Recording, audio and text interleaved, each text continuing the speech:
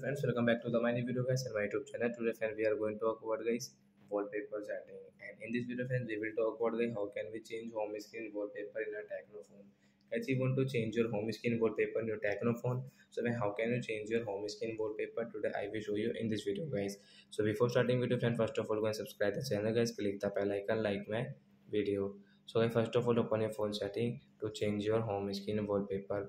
After on phone setting guys scroll it friends. You can see guys theme and lock setting guys. Lock screen setting guys. Tap here.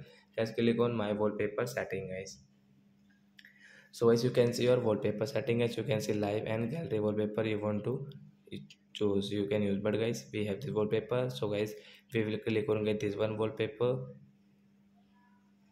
for our home screen so apply here guys click on first of all home screen wallpaper so once you can see your home screen wallpaper will change in your techno phone and once you can see lock screen wallpaper guys so you can use guys your two wallpaper setting lock screen and home screen so that's it guys thanks for watching the video bye guys